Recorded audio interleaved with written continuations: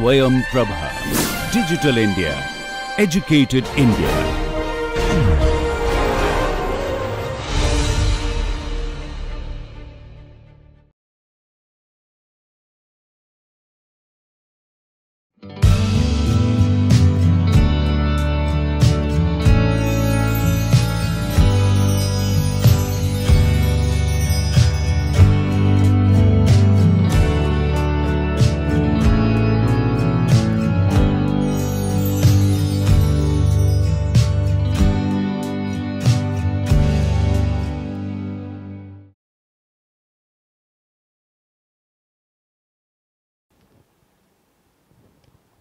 Hello friends, welcome back to this lecture number 15 on the course on the psychology of language.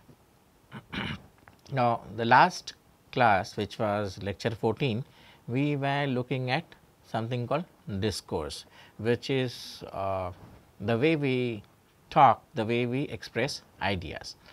And so, the two ways of discourse that we talked about, we talked about something called uh, narratives uh, which are uh, one person speaking others uh, others listening to it and conversations where uh, all the people take turn in speaking and, and exchanging ideas. So, what we will do today is we will extend this idea of discourse, we will look at uh, how some uh, basic psychological principles um, as is used as mechanisms for easing out the process of discourse and we will also look at several uh, uh, theories and principles which have been pointed out by people uh, who are psycholinguists and psychologists for uh, making a discourse successful and making of exchange of ideas through a discourse successful. And we will also look at uh, uh, some Uh, uh, difficulties in learning in discourse. So, uh, some kind of uh, discourse related problems in terms of difficulties of learning. So, that is what we plan to do in this particular lecture. but before do that as we have been doing before, we will go back a little bit in time and look at how did we arrive here and this we keep on doing is because we want to maintain continuity. So, I want to maintain that continuity of how we arrived here. So, we will take a short um, fly back into the first lecture itself and build up the stage uh, of how we arrived at this place or at this lecture. So, uh, the course started uh, by looking at some basic uh, forms of uh, language. And so, uh, the first thing that we did was we distinguished between what is communication and language and what is the difference between it. And in order to look at the basic form of language, uh, we zeroed in into animal communication system. So, uh, we initially in the in the first section itself, we focused on to the animal communication system, which is the basic form of language. We looked at what a communication system uh, like that should have and uh, why do people, uh, uh, I am sorry not people, why do animals communicate? What are the reasons of communication? Because that would give us some idea of why people communicate for that matter. So, we discussed uh, uh, a little bit about the animal communication system. We looked at the characteristics and the nature of a communication system like that. And from there we picked up several uh, points and evidences and moved on to explaining the simplest form of human language. So, we looked at what is the human language like, the rules, the syntax, the structure, the principles, the nature of a, uh, of a human language system. So, uh, we defined how the phonology uh, builds up the morphology and this morphology then builds up the word, the sentences, discourse and communication as such in, in the language systems of humans. So, uh, once we had uh, understood the basic animal system of communication and the advanced system of uh, language in humans, we move forward into looking into a little bit of the history of uh, the, the language. And uh, we started off by looking at how language evolved and, and what are the uh, basic evidences which are present which give us some hint about the evolution of uh, language. And uh, there we looked at the idea of mother is the, the, uh, idea of uh, Pitkin, the idea of uh, how language evolved from the proto language which our ancestors used to use and what structure they used to use and how the present language is a development of that particular system. We also looked at uh, the theories of continuity and discontinuity uh, from the point of centrality of syntax and that also gave us an idea of how the language would have evolved. Now, there are two views one is the rapid view of language evolution and the other is a more phasic slow form of evolution of language. So, we discussed that in detail there. And lastly, we looked at some uh, evidences that language evolved from ancestors. So, what kind of uh, uh, idea of um, uh, exists uh, that language actually came from uh, the proto-humans, our ancestors and uh, we also looked at ideas of uh, the language gene how it was uh, disproved and, and uh, this whole uh, branch of things. So, basically we focused on to the history. So, initially we looked at uh, the difference between animal and language systems and then we focused on to the evolution of language systems. Now, once we had some idea of what is human language, how does it look like, what is the nature of it and uh, how it distinguished from animal language and we also discussed a little bit on the history of uh, uh, language, we concentrated more on to looking at how research in language is done because that should give us an idea of what is language and what are those psych psychological principles, what are those psychological factors which affect language. So, uh, we started off by describing the scientific method uh, which is uh, used in language studies, how uh, the idea of inductive deductive reasoning and, and the idea of hypothesis theory building and uh, these kind of facts are used in uh, describing language studies. We then moved into looking at how what kind of designs are used uh, for uh, making uh, language studies, what kind of independent dependent variables and uh, what kind of dependent measures for example, latency and accuracy two measures which are used in language studies. So, why should we use and what is the benefit of things like this. We looked at behavioral techniques of um, language um, uh, studies. For example, the idea about uh, um, the, the idea about uh, how responses are measured, how building blocks are uh, made and uh, we took input from several behavioral studies of how behavioral studies are conducted in language studies. And lastly, we looked at the fact of how language is related to the brain. So, those uh, uh, areas of the brain which specialized in language processing and uh, also uh, those measures which are used for um, uh, uh, which are used for language studies for example, the fMRI and EEG and how these measures give us some idea on how language studies are done.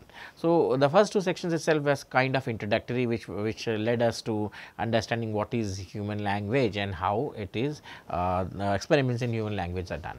Now, once we had that we ventured into the idea of how speech which is basic form of language which is how language is transferred at least the human language um, how they are produced and how they are perceived. So, even before going to uh, the production of speech we started off by looking at speech uh, perception how speech is understood. So, there we looked at um, the basics of auditory perception for example, uh, what is uh, the sound wave like what is uh, the basic frequency and what is the overtones and, and those kinds of things. And we uh, then focused ourselves onto uh, that organ in the human body which actually helps us in perceiving speech which is the human ear. So, we did a detailed analysis of the human ear.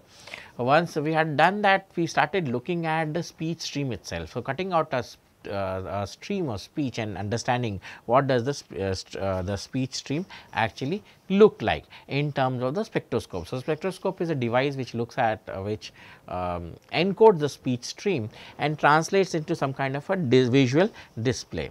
So, we looked at those peculiarities of the speech stream for example, the production of the consonants, the, uh, the vowels, how the formen, sorens, uh, these kind of uh, peculiarities in the speech stream exist and how they are periodic, time based, uh, length based how, how these kind of analysis is done and those peculiarities and similarities and, and uh, various eccentricities of the speech uh, we, we focused on those kind of things um, in the third section.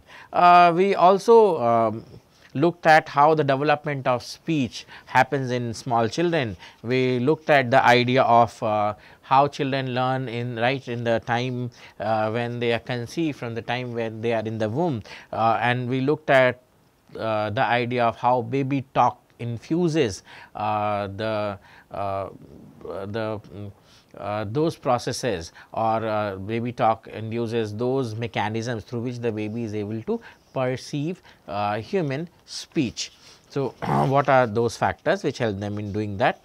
Um, and we looked at several other factors which help uh, the baby um, in, in and perceiving speech and how he develops into an adult and use these mechanisms uh, to perceive uh, human speech. And lastly, we focused on some theories of speech. So, basically we looked at the motor theory of speech which says uh, that motor movements uh, are integrated or are essential for perceiving speech. We also looked at uh, the uh, general auditory framework of speech and lastly we looked at the direct realism uh, which is another theory of speech perception.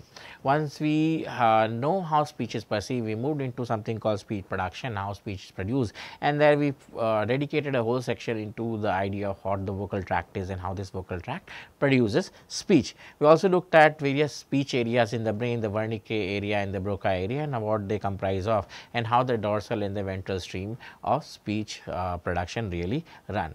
We looked at several models of speech production and then we looked at several uh, principles of development of speech in, uh, uh in, uh, in, smaller children. The basic models that we discussed here were the feed forward and feed back model, the auditory suppression during speech model, the dual stream, stream model and of course, the computational model DIVA which explains how speech is produced or the production of speech is explained through it. So, um, the first four lectures um, six lectures I am sorry uh, were in kind of an introductory part where we are looking at how speech is perceived, how speech is um, uh, produced and the science of speech and also uh, the basis of speech. So, the first uh, 6 or 8 lectures we dedicated to that. Now, once that was done we started per, uh, understanding that all this perception of speech and production of speech they amount to uh, basic speech sounds being integrated together to create something called words. Now, the words are the basis of any speech and so we started the next section which was in uh, which is the advanced module in this uh, in this course was focusing on what are words and what do they actually mean. So, what you write uh, for example, if you write DOG, what does it mean? So, what it means and what it writes in terms of the letters, they are two different things. So, we started looking at words and we started looking at these aspects of words. So, we started the next lectures on looking at the anatomy of words, how words are written and what do they mean and what kind of symbolism that they have in it and how these interpretations are done. Uh, then uh, we looked at how what are the principles of learning words, how words are learned both in infants and adults. We also looked at how words are stored and what is the way in which they are retrieved. So, several kind of uh, things of how words are learned. For example, we, looked at the words are learned in a very fast manner uh, in, in, a certain age group and then they are not. And uh, we also looked at storing principles of storing of words and principles of uh, how the mental lexicon is arranged, the cortical lexicon, lexical arranged, how word has a phonological form and a semantic form and those kind of things which were interest uh, which interested us. Then once we were uh, aware of what are words and how these words actually integrate or help us in producing um, speech or exchanging ideas, the next obvious logical reason was that understanding the sentence. Now, why this is important is one word sentences is something which you do not use. So, words are there, but these, these words are to be arranged in some kind of a logical manner to exchange ideas. One word um, sentences or one word is not something that people use for transferring ideas. So, what they do is they use these words and arrange them in certain forms to actually uh, pass out ideas and that is how the concept of sentence came in. And so, we started looking at next was sentences. So, what is sentences? So, we looked at how the structure of a sentence is, uh, what is the way in which a sentence, uh, the various parts of a sentence, for example, the agent, the patient and um, the verb which contains the agent information, how they are uh, arranged into their thematic roles. We also looked at how these agent interpretation patient, how they um, directly relate to the idea of subject and predicate, predicate in a sentence, what is uh, clause, what are phrases and how those, these things actually help us in making sentences.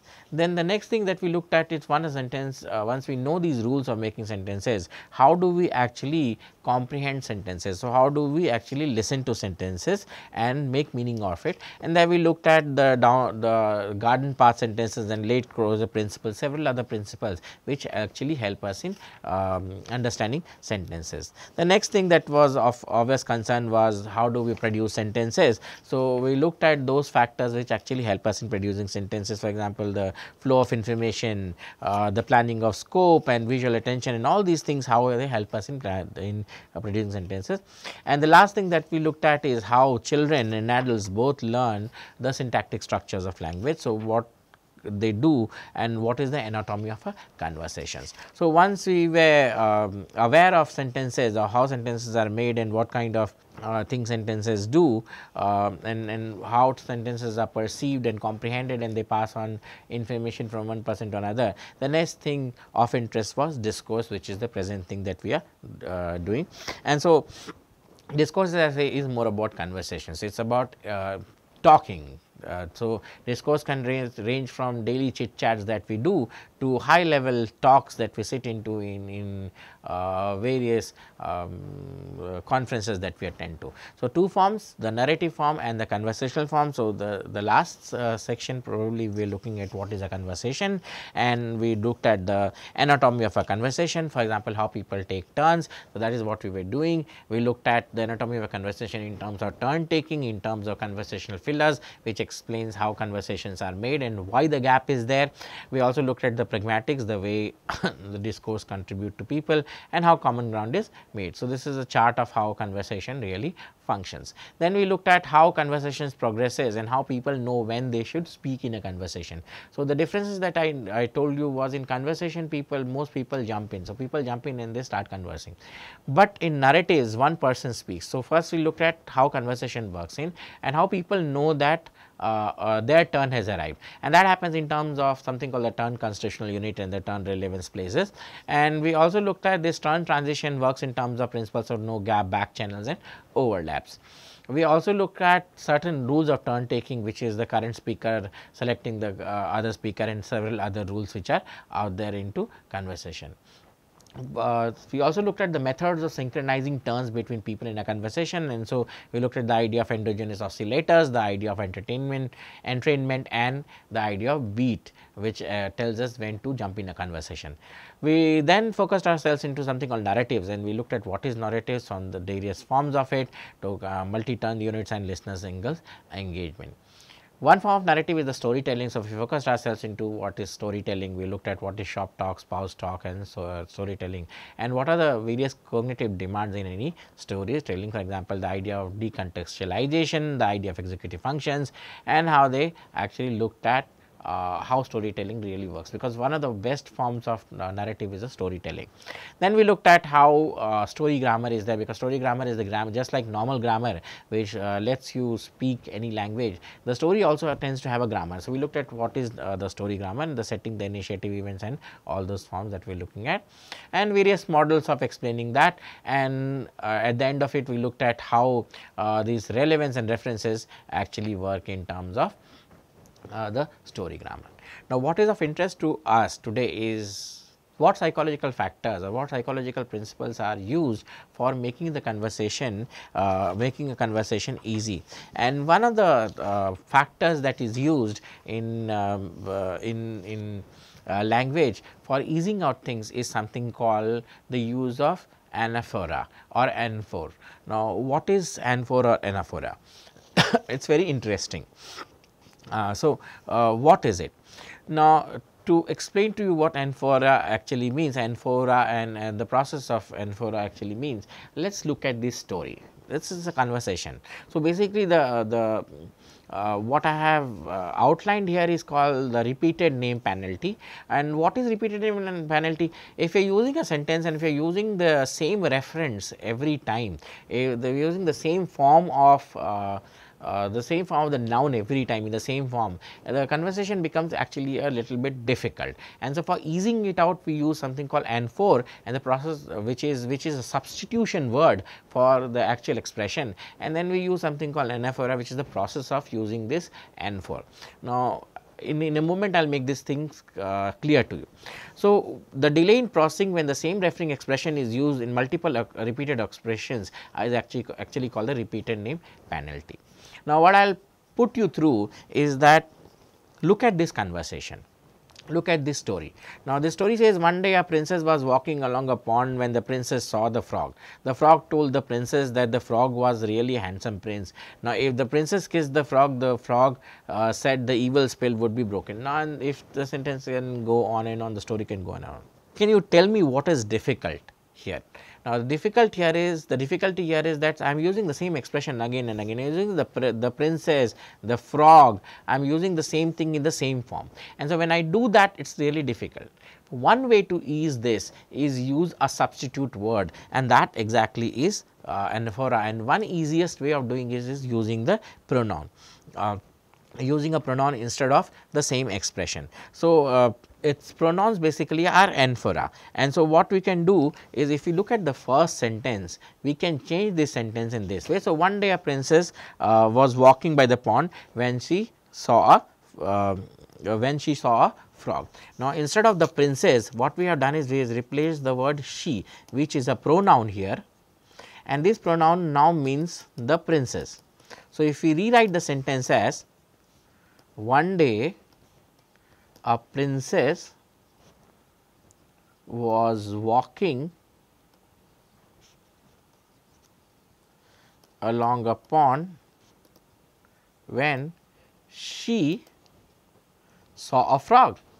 Now, look at it now it is easier to understand. So, this she actually replaces the princess and this process is what is called the anaphora. The word that is used is called the anaphor, the process is called anaphora and uh, the, the expression that she is referring to is called the antecedent. So, anaphora and antecedents one day a princess is walking around the uh, pond when she saw a uh, frog. So, she is called the anaphor which is the word or phrase that refers back to the previously maintained encores or entity or discourse. The process of substitution that is going on is called the anaphora which is the process of anaphora referring back to the antecedent and what is the antecedent? The antecedent is the item or the antecedent is the phrase that this she is referring to and the antecedent is the entity in discourse that is referred back in the anaphora. So, anaphor this anaphor they tend to come in various degrees um, and, and we will discuss some of these degrees in the next uh, slide.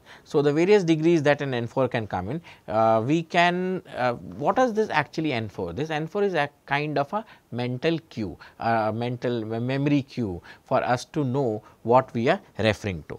We for example, let us say let us look at this, uh, the, the earlier sentence and we can rewrite the earlier sentence in this manner. So, we can write the frog told the girl that it was really a handsome prince.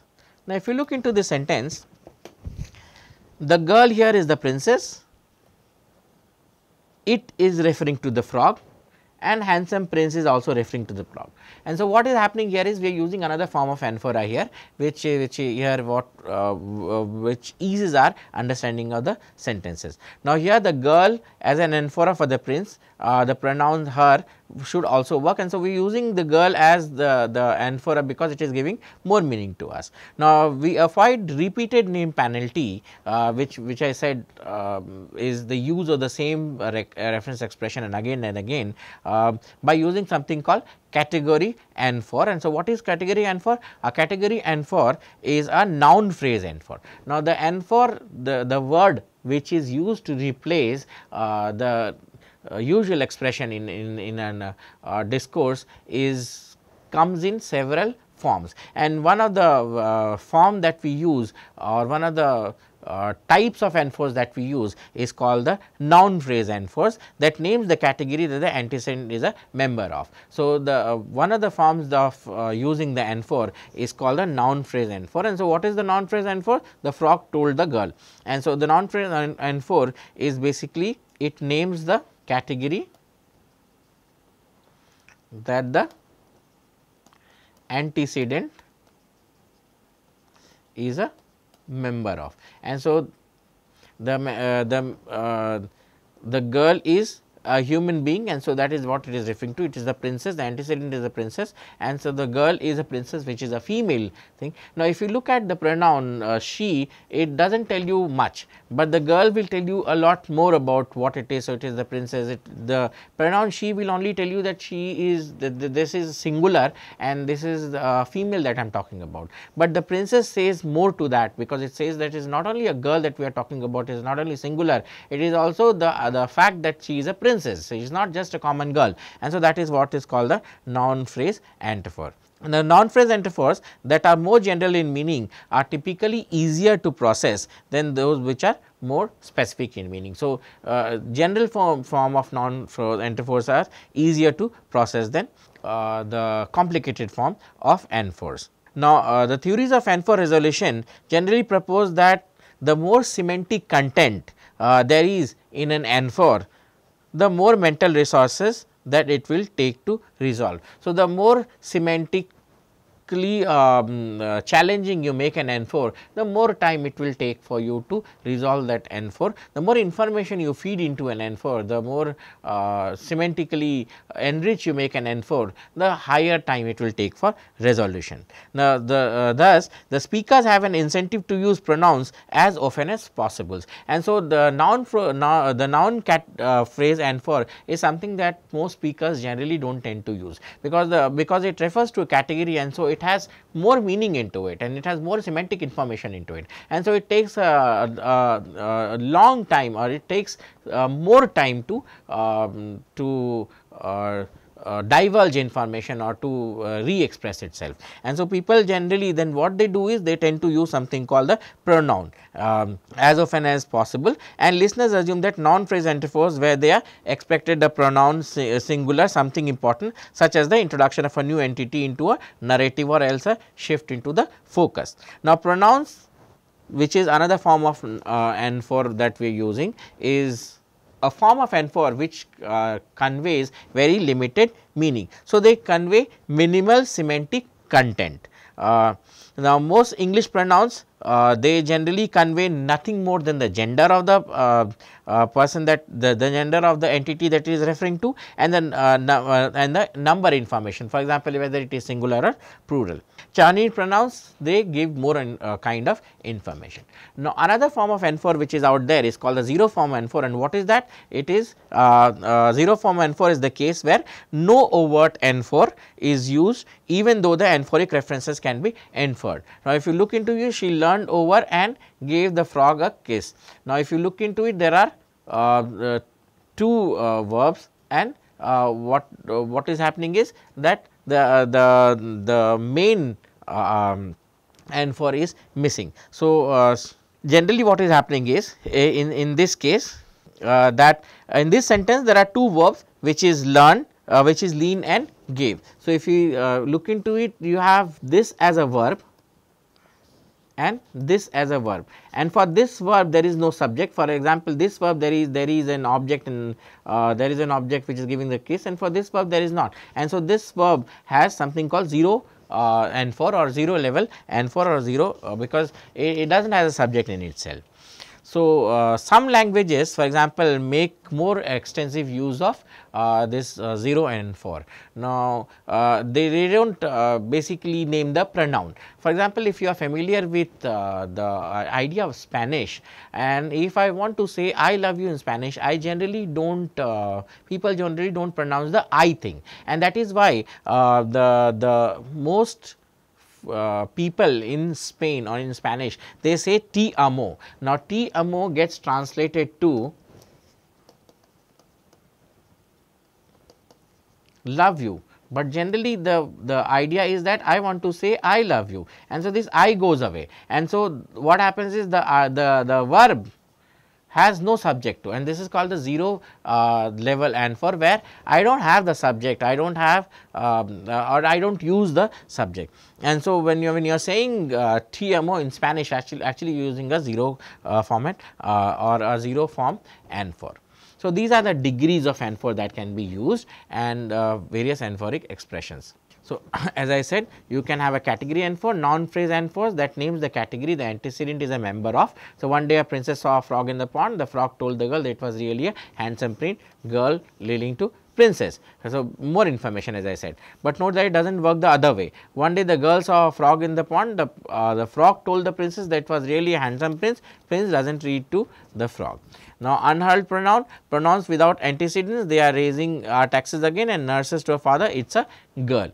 So, uh, basic, basically this is how we were looking at different forms of uh, anaphors and how these different forms of uh, anaphors are uh, used in discourse for easing out the way a conversation is there. Now, another interesting another aspect of a discourse that guides the speakers uh, in the selection of anaphor is basically called the givenness of the antecedent. How much given uh, how much givenness the antecedent has. Now, what is givenness? Uh, the givenness is the um, uh, refers to the degree to which an antecedent is likely to be within the memory and attention span of the listener.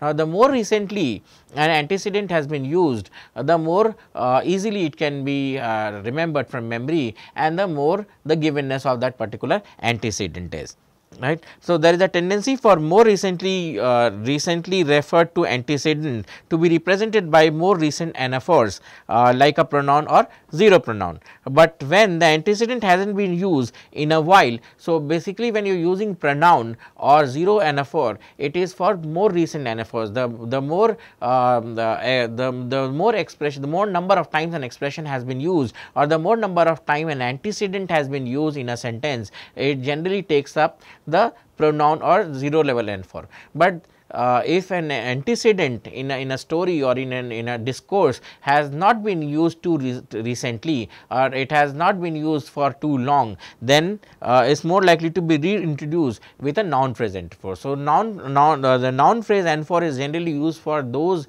antecedents which have not been used for too long in a conversation. So, uh, Basically then noun phrase identify determiners for example, a and some and given noun phrase definite determiners the. A princess is walking by the pond and when she saw a frog the frog told the girl. Now, English tends to uh, mark newly introduced entities uh, with indefinite determiners like example the a, the an and uh, uh, and some while it marks given noun phrases with the determiners thus. So, uh, with the with the if I am using an anaphor it is generally the noun phrase and, and uh, anaphor that I am using and with the a and I am generally using the pronoun uh, kind of or 0 uh, form anaphor. Now, the first mention of each entity is marked with a and each time it is mentioned after that it is marked with the. And now, in other words a means something like here is something new while the actually means uh, something like remember the one I mentioned before. So, the when I use the in in, uh, in in a pronoun it basically the pronoun means that this particular thing has been referenced before it is not been used referentially, but a and an is kind of uh, something new has been introduced. Now, pronouns in 0 and 4 tend to be used when the antecedent is highly given that is easily accessible with memory. However, uh, in talking interactions we often use an unheralded pronoun that is a pronoun without an antecedent at the beginning of a discourse. Now, another reason why we use something called the unheralded pronoun is because the antecedent though not mentioned is clearly in everybody's mind and so sometimes we tend to use uh, the unheralded pronoun as an, an as an anaphor and at other times we tend to use the uh, 0 or uh, normal pronouns as anaphors. Now, uh, how do we make inferences uh, from uh, discourses? Now, discourse is a set of sentence that cohere about one or more related topics. So, when we are discussing what we tend to do is we tend to make many ideas cohere together. Now, to cohere means to stick together and there are two ways in that a discourse can actually use cohesion. So, discourse is basically many ideas and so what discourse tends to do is it tends to cohere or uh, to combine ideas together. One way is through cohesion. So, this cohesion of mixing of ideas or cohering of ideas is one is through cohesion which refers to the use of linguistic device to tie together sentence in a discourse. So, this cohesion that is the first uh, way of putting ideas together or combining ideas together in a discourse and it is the use of linguistic devices to bind sentences in a discourse for example anaphors and conjugations. Most discourses how do we make inferences discourse most discourses have a random number of ideas and they are cored together and so one way of this cohesion is explained in, in terms of uh, uh, combination is explained is in terms of cohesion. Now, anaphors play an important role in providing cohesion for discourse by providing retrieval cues for previously maintained identities. And so, what anaphors actually tend to do is when we are using a conversation and this conversation has multiple ideas, these anaphors provides a memory cue to what uh, uh, idea was actually discussed before and uh, this leads, leads to the uh, proper flow of a conversation. The other way through way, the other way through which this cohesion is achieved or this kind of um, coherence is achieved is something called coherence. The other way is through coherence which refers to the use of schemas and logical relations to bind the sentences together of a discourse. And so, what is cohesion? The use of schemas and logical relations to bind sentences of a discourse. Now, unlike cohesion which is overtly marked in the discourse, coherence must be inferred by relying on our understanding of how the world. And so uh, in this case the anaphors will give you an idea of cohesion, but in this case we have to use our presence of mind about how the world works. And that will give us the idea about the, uh, uh, the cohesion uh, that is happening in the discourse. So, must be inferred by relying on understanding of how the world works. For example, the frog said kiss me and I will turn into a handsome prince. Now, the prince carefully considered the proposition that night she had frog legs for supper. Now, obviously, the, the idea would have been that the princess would have kissed the frog and the frog would have turned up into a, a handsome prince and they would have married and lived happily, ha happily ever after. That is what the story says. But there is another angle to it which is a much funny angle, uh, angle. And what is the much funny angle? What the uh, in real world sense what the princess did was in real world magic does not happen. So, she does not believe in magic and so what she did was she never kissed the prince, but rather what she did was they cooked the princess uh, the, the frog's leg which supposedly would become the fring and that was in, in a more generic sense she ate the leg as a supper. So, there is a uh, so oftentimes we are left unsaid in what more important ways uh, what is actually said in a discourse. Uh, now, there is a uh, there, there is a process which is called bridging inferences uh, which is used for making inferences in a uh, discourse. Now, what is bridging inferences first of all?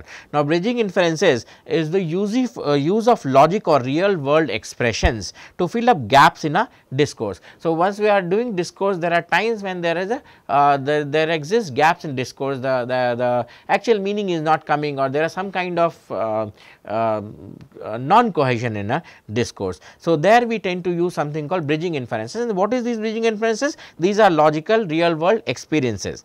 Now, bridging inferences play an important role in production of humor and as I explained one way to understand the sentence that that story that we are looking at is that the princess never uh, kissed the frog and he never turned out into a prince and she ate the frog instead. So, um, making bridging inferences is costly at least as measures of reading time or written text, but, con, uh, but content linked with bridging inferences are also better recalled uh, later on probably due to the fact that they are more deeply processed. And so, sentences which have bridging inferences are recalled better because bridging inferences are actually the logical way in which the world uh, left. So, in the original story uh, if, if you look at how the original story worked and, and how the, the new way that we interpreted the story, the new way of understanding the story which have will, will be remembered more better because that is the most logical logical way in how something would have been dealt. Because magic the idea is that magic does not work in real world. So, in real world sense whatever have happened is the frog actually did not want to die. And so it was saying something whatever it was saying. Of course, it is uh, difficult to understand a frog actually speaking a language, but then the most easiest interpretation would have been that the frog was killed and it was eaten. And that is what uh, the idea is. So, bridging inferences is the use of logic or real world expression to fill gaps in a discourse. Now, um, uh, Mark reached into the picnic basket. The beer was warm. And so the, the inference is there was beer in the picnic basket. And so, when we make these sentences, when we look at the sentence that Mark reached into the picnic basket and the beer that was he was, he was looking at warm, we of course make these bridging inferences or the inferences that there has to be first of all the beer in the, uh, the, uh, the, picnic basket. Now, had there been no beer then it would have been no, uh, no uh, it would not have been warm. And so, these two sentences are connected by a bridging inferences and the gap here is that there was beer. So, it was never explicitly stated it, uh, that there was beer in the basket. This was never explicitly said, but then we can infer this from it. Now, we also have something called uh, predictive inferences, expectations of what comes next in a discourse based on the sequences of events so far. The frog told the princess kiss me and I will turn into an handsome prince. The inference is the princess will kiss the frog and so that is why it is said and so we use that kind of a thing or that kind of predictive inferences or predictive inferences for inferring things. Now, when we are making bridging inferences, uh, we focus on the logical or the common sense structure of the discourse. This is uh, also the case when we make something called predictive inferences. So, predictive inference is another way of inferencing ideas from a discourse. In uh, so, uh, what does it really mean? So, we can generate an ex, uh, an uh, expectation of what comes next into a discourse based on the sequence of events. So, as we can generate from it the expectation that the that the frog will be kissed if we can generate that from a discourse this is called predictive inferences. As listeners we also make inferences and go beyond the discourse. Now, this uh, the idea of bridging inferences and predictive inferences uh, which tells us the meaning of a discourse leads out to the idea of something called the theory of mind. And so, what is the theory of mind? The theory of mind the ability to make inferences about the mental state and intentions of others is actually called the theory of mind. The theory of mind is the ability to make inferences about the mental states and intentions of others and this theory of mind has to be intact in people because if we do not have this theory of mind if we do not know what other people are thinking or cannot predict what other people are thinking then discourse would not have been possible. So, we constantly generate explanations or theories of why other people behave the way that we do. Now, when we interact with other people, we assume that they have the mind of their own uh, with perspectives and intentions that may be different from uh, uh, us and so we tend to use the kind of inferences and words uh, in, in a discourse that we do. As a result, we tend not to rely on literal meaning of utterances, but rather uh, on what we believe the speaker would have intended and so that is how we make inferences. So, we know we do not actually read the way the sentence is said or the way the sentence has been expressed. We, we actually all uh, we actually put a lot of idea or we actually put ourselves out there to extracting what the speaker would have actually invent, uh, intended. Now, the theory of mind uh, enables us to distinguish between a joke and a lie. Uh, clinical data shows that patients with damage to the right hemisphere often have difficulty in assessing the mental states of others and so this is how we make inferences from a particular discourse. Now, there are several speech acts which have been proposed. Now, the three philosophers uh, in the 20th century, uh, for example, John Searle, uh, uh J. L. Austin and Paul Grice, they uh, were influential in shifting the common view of language as primary me uh, mechanism for uh, the transfer, uh, transmitting of information uh, between people to a new perspective of language as a social activity. So, initially language was thought as a mechanism for transmitting ideas. But these three philosophers what they did was they made a new um, uh, meaning to this language and they what they said is language is basically a social activity and they developed something called the speech act. They said that language is not just mere translating of ideas, what language is more of like a play is like an act and in this act there are several participants they play their role and this, uh, the language expresses in this particular manner. So, they develop the speech act theory which is the position that the value of an utterance what the utterance actually mean uh, lies not on the literal meaning of its word rather in the intention of the speaker and the effect it has on the listener. So, basically what is written is not exactly what language really means. It, it, means more than that. It depends upon the intention of the speaker and uh, and uh, the kind of effect that it is going to have on the listener and all these combined together will actually mean what language is all about. Now, speech act theory it provides a framework for connecting the literal meaning of an utterance uh, with their intended meaning. Now, Austin 1962 they argued that every utterance has three layers of meaning. So, basically what is speech act theory then the value of an utterance lies it says that when we speak something it lies on three facts. It is not just plain words that you are reading. It is more than that. And so these three words or these three aspects actually uh, explain what the meaning of a of a discourse actually is. So it is not literal in meaning. So what is written is not exactly the meaning of what is written but rather it is in the interact intention of the speaker. What i want to convey has a lot more to uh, say into uh, what a sentence should actually read and the effect it has on a listener. For example, imagine that a family is dining uh, with mom, dad and a teenage daughter and a school age son. So, they are all dining and uh, the dad asks the daughter could you pass me the salt? The teenage daughter replies yes I could and continue eating. Now, in a perfect sense this is what um, uh, the it's it's a perfect conversation in the perfect meaning of it. So, could the father asked uh, could you pass the uh, uh salt to the daughter and the daughter says yes I could and she continued. Now, the father in the literal sense did not actually mean could you uh, was not measuring the ability of the daughter to pass the salt. What he was meaning is please pass the salt along and um, can you pass not even can you pass the salt along what he was referring is that uh, pass the salt along. Now, in the conversation as it proceeds, proceeds the mom would be very unhappy and she looked unhappy at the daughter at the daughter and the son would in the last pass the salt to the father. So, basically what the father meant by saying that could you pass the salt and the girl replying that I could pass the uh, yes I could this should be the end of conversation and the literal meanings would have been true, but this the literal meaning is not correct. It is the intention of the speaker. The speaker actually wanted or the father actually wanted the daughter to pass the salt and was not actually measuring or not actually referring to the ability of the girl to pass the salt or not. Now, as I said uh, this, this is called the indirect speech act utterances whose literal and intended meanings are not the same.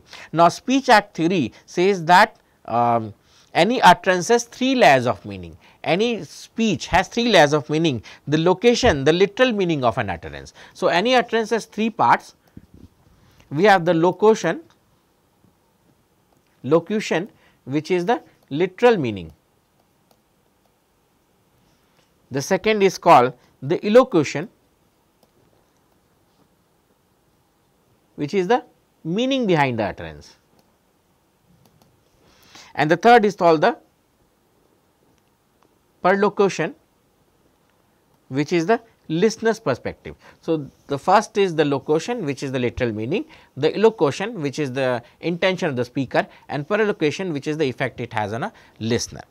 Now, according to uh, for example, look at this uh, particular speech act theory, there are three layers of meaning of questions do you know what time it is. For example, look at this sentence do you know what time it is. Now, if we look at in terms of the speech act theory this sentence literal sentence has three parts. The, now, this sentence was uttered by a mother to her daughter who had arrived home after uh, well after her curfew. Curfew is kind of an uh, time bondage which is given by parents to their uh, sons and daughters of, of uh, certain age to come before uh, to come to their home before a certain time. Now, in terms of locution the literal meaning the literal meaning of this sentence is what is the time. But if you look at in terms of illocution which is what is the intended meaning? It was the intended meaning is what is the time? That what is the time? That is the way it is spoken. And so it actually means that you are late. And the, what is the perlocution which is the perceived meaning? The perceived meaning is mom is angry. She is not interested in time. Yes she is not interested in anything else. What she is interested in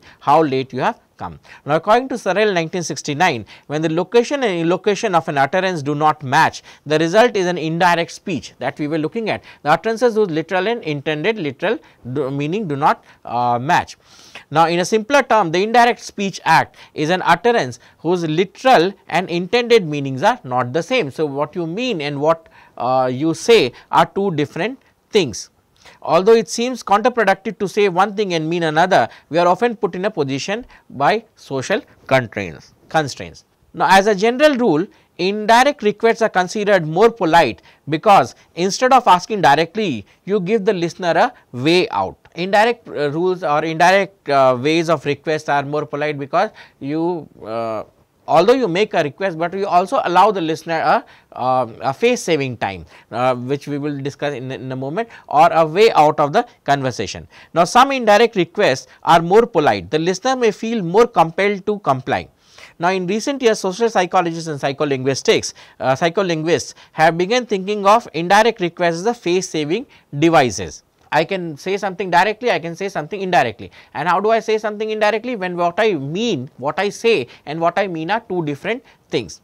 Now, uh, nowadays people are using this kind of indirect request in terms of the eastern concept of face which is as the personal need to be viewed as a competent and to have one's action uh, impelled by others. Now, the concept of face ties the notion of something called self esteem and respect and although the idea derives itself from East, uh, from East Asian philosophy is now considered to be a universal concept. So, basically when we use indirect speech it gives us an idea of uh, saving our face and what is face the personal need to be viewed as a competent uh, com, com, uh, competent and to have one's action impeded by unimpeded by others. Indirect requests as face serving devices give listeners a way out so that uh, they can be more polite. Now, in the family dinner example dad politely use the indirect request which gives daughter a way out by interpreting the utteral utterances. Of course, uh, so, basically uh, the, the daughter was, may have been angry and she, she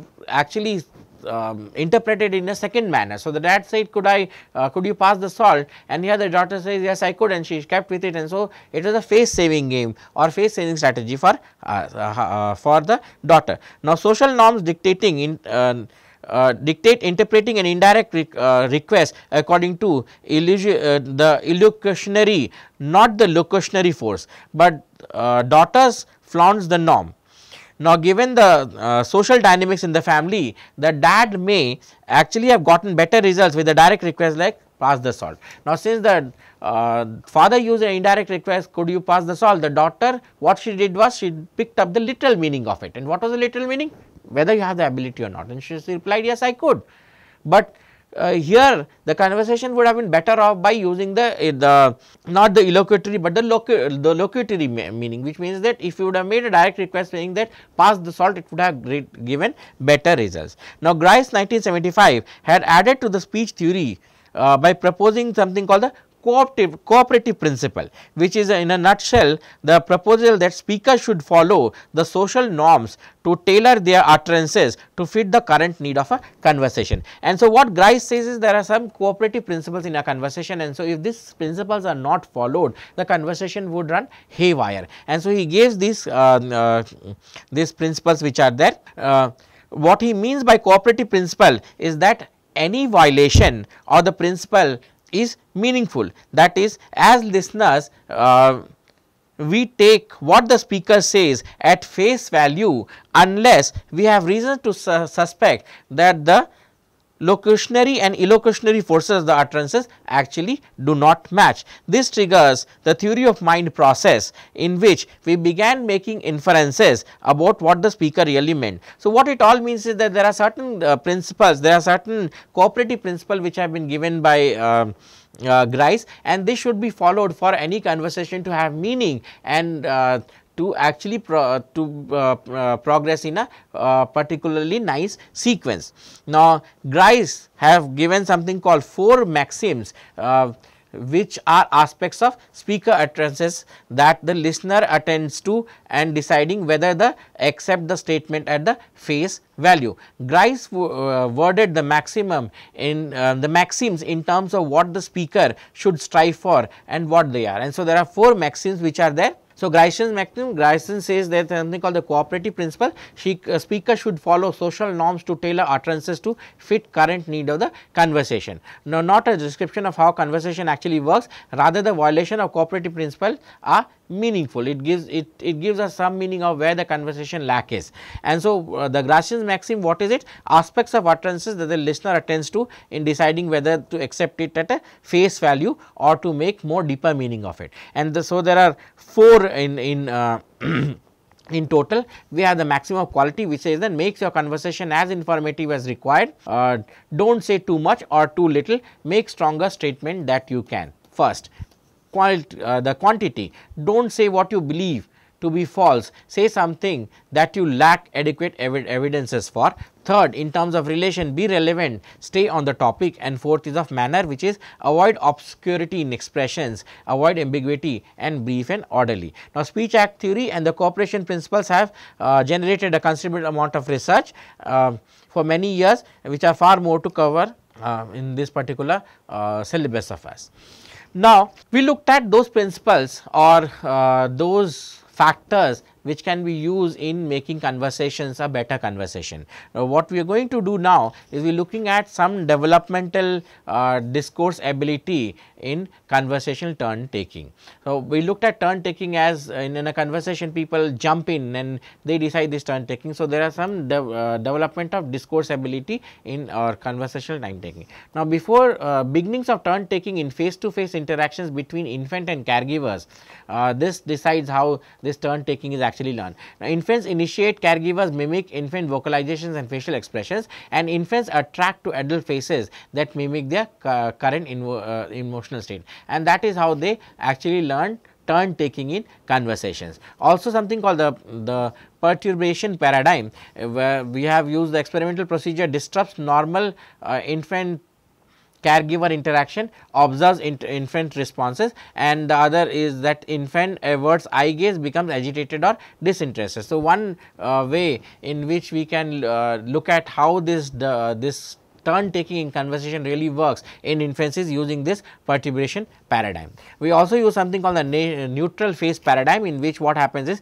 the caregiver shifts the neutral face while maintaining eye contact with the in uh, the infant and we sometimes tend to use something called the replay paradigm in uh, uh, understanding how these infants and caregiver uh, uh, they learn this turn taking in conversations. So, caregivers infant interaction via video screen first live and then replay so no longer lines up with the infant behavior late talkers. Now, uh, for late talkers what uh, really happens is the process of learning conversation through the facilitation of caregiver is disrupted when the child's experience something called the development language delay. Now, this is a condition marked by slower than normal development of expressive languages uh, during the first few years um, of life even though hearing, motor and cognitive functions otherwise are normal. So, uh, in development language delay slower than normal development of expressive language during the first few years happens. Hearing, motor and cognitive functions otherwise are normal in range and some catch up with the peers, some experience decline in socialization process. Now, late talkers and uh, understand conversation uh, turn taking uh, since that is learned in infancy. so, contents of turns considerably reduce rely on uh, ellipses or sentence fragments, more use of pointing uh, to indicate references and adapt to use of back channels to encourage other uh, to uh, talk so that they have to they have to. And so these are some of the problems in talk in late talkers how they uh, get deprived of this turn taking uh, or learning the turn taking. Caregivers coping strategy late talk takers benefit more from the additional facilitative support. Also high control strategies overstimulate child causing them to withdraw more. And so this is some of the um, uh, strategy that the caregivers can actually use with late talkers in developing uh, uh, this conversational time, uh, conversational uh, turn-ins and uh, turn-arounds. Now, there are uh, when people speak they also use some kind of gestures. For example when i am speaking i am using some kind of hand movements and these are some kind of gestures. We can identify two types of gestures meaningful gestures. The first is the called the indexial gesture which is the movement of the upper limb to point to a referent in the conversation. So when i am moving out and pointing to the camera that i am speaking to this is called the indexial gesture. For example the question what's that? Uh, is often accompanied by indexial gesture towards uh, the thing that we are referring to. The other kind of gesture that we use is something called the iconic gesture which is the amount uh, which is the movement of the uh, of one or both of the upper limb to imitate an action. For example, the uh, wind flew up, Jack and Jill rolled down. So, this kind of uh, gesture is basically called the iconic gestures. Now, caregivers often use the indexual gesture as they in the, uh, interact with the uh, child. Now, young children seem to be sensitive to discourse cues and appear to use them to uh, learn and associate words with other things they are referring to. Children also learn the use of indexual gestures uh, when they are unsure of a name of an entity. Iconic gestures seem to be universal phenomena, but it is also shaped by specific languages that it is actually used with. In iconic gestures are used with in conjugation with descriptions of motion events. For example, with spe speakers making hand or uh, finger movements to mimic the manner in path or the action. So, basically indexual gestures these are movement of upper limb to point out uh, reference in a conversation. Caregivers use these to interact with children as they are naming uh, in a naming game and children use these to point out objects that they do not know the name of. Iconic gestures these are movement of both the upper limbs and uh, to imitate an action and universal phenomena, but shaped by specific uh, language. We also use something called uh, co-speech gestures. Um,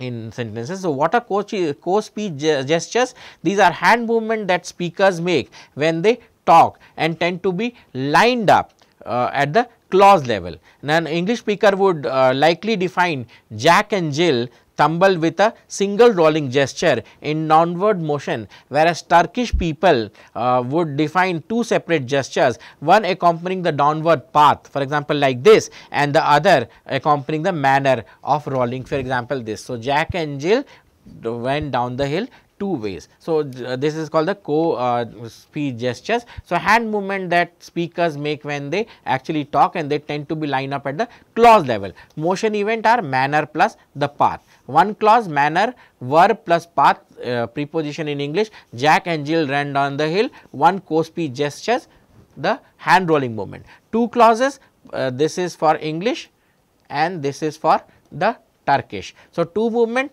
path verb plus manner verb. So, Jack and Jill descended the hill while they were rolling. So, one is descended which is the movement gesture and the rolling which is the rolling gesture that people tend to so, so learning co-speech uh, gestures with motion events, both English speaking and Turkish speaker children, uh, they use two co-speech gestures, one for the path and the other for manner. Adults uh, line up co-speech gestures with the clause. Turkish speaking adults, one co-speech gestures for path clause, another for the manner clause. In English speaking, one co-speech gesture that combine the path and the manner information. Also prosody, prosody is uh, the fluctuations in pitch that happens that we will learn before. So, young children like adults they distinguish happy from sad tone of voice even in foreign languages. So, prosody is also used for uh, making inferences uh, or making how children learn. The way a sentence is said uh, is basically what is the prosody and so uh, prosody also gives you the emotional and syntactic information uh, from a sentence. Now, prosody can be used uh, as a fond of sound symbolism. Now, when you uh, when you say for example, try saying this sentence with symbolism a tiny mouse and a great big elephant. When you use prosodic cues, you will say the a tiny mouse and a great big elephant. The way you say this is basically the prosodic inferences and that tells you a lot about the conversation. So, use prosodic cues to face boundaries. So, children uh, learn these prosodic um, uh, cues to learn face boundaries and prosody as sound symbolism for example, high, high pitch for small things and low pitch for larger things. A tiny mouse as a tiny mouse and a, and a great big elephant. The way I am using this it basically gives an information about the sentences that is used. We also use speaking rate to convey a sense of speed uh, um, in describing fast or slow actions. Uh, the preschoolers are sensitive to this kind of sound symbolism, prosody and the use of own speech. Now, with this we also use something called lexical bias in uh, in uh, uh, making students understand this uh, speech symbolism. Now, what is lexical bias? Lexical bias in children under the age of line. It is a tendency among children uh, to rely on the literal meaning of an utterance even when the prosody strongly suggests that a non-literal meaning as, is there. Example, for example, when, when a speaker says I like it, but does so with an unhappy tone, the adults will actually uh, mean uh, they will understand that it is. So, if I say I like it or if I say I like it. So, when I say I like it with a more zing into it, it is a positive sense, but I said I like it. I am actually not referring to the likeness, I am referring to the negative connotation of it. So, adults would be able to understand that and lexical bias is that ability where children are not able to understand that I like although the sentence says I like it, but it is meaning something else that is what it uh, the lexical bias is all about. It is a tendency to disregard prosodic information when referring to speaker's intent, rely on literal meaning even when the context strongly suggests non-literal meaning. Example speaker saying I like it with an unhappy tone of voice. When utterance low pass filtered so that the prosody remains children correctly infer the uh, intent. Now, detecting irony and sarcasm in children under 9 years of age, they have difficulty using prosodic cues and can use situational con uh, uh, context to use of non-literal meaning. Now, Gricean's uh, maximum, the lexical bias exhibited by children does not mean that they take every utterance at the face value. Rather, it seems that children have difficulty interpreting prosody when it conflicts with semantics and uh, con uh, the context. The preschoolers are already adapt uh, at using the Gricean's maximum to make inferences about speaker's intention. So, by 33 years of age, children generally understand Gricean's maximum of quantity, generally query what, piggy is in the uh, uh, barnyard, specific query piggy is in what? In the barnyard. So, uh, by 33 months they are able to understand this maximum of quantity. Now, there is something called uh, the scalar uh, implicature. Now, Gricean's maximum have generated a lot of research on the topic known as scalar, uh, the scalar implicature. What is it? The term refers to a listener's inferences that the speaker's use of a weaker term means that a stronger term is not true. So, the use of weak uh, the use of weaker term is actually meaning that the stronger term is not you, uh, true. Research on scalar implicature most commonly examines listeners inferences about the quantity uh, term some and all, but other weaker strong pairs uh, such as or and have been studied as well. So, listeners inferences that the weaker term means the stronger term is not true. Some elephants have trunks. Now, adults say fall because all elephants have trunk, but Logically, if all is true, so is some. So, preschoolers reply true seems to understand scalar implicature and Gricean's maxim override the scalar implicature in adulthood. And so, uh, lastly we looked at something called the discourse impairment. It is the tendency to omit grammatical suffixes and functional uh, words. Now, it is a difficulty to constructing and comprehending narratives also uh, produ uh, produce narratives less content fewer story grammars elements uh, play safe strategies used in, in specific uh, uh, language impairment children simple structures and vocabulary error free and below uh, peers ability and difficulty in making bridging inferences and representing story elements. So, those children which have specific language imp, impairment they tend to suffer from these kind of problems. Also they have pragmatic language impairment for example, structural language skills is intact in them, difficulties within social and contextual uh, aspects of discourse non-literal meanings and often leads uh, to behavioral problems for example, hyperactivity, aggression and excessive sinus.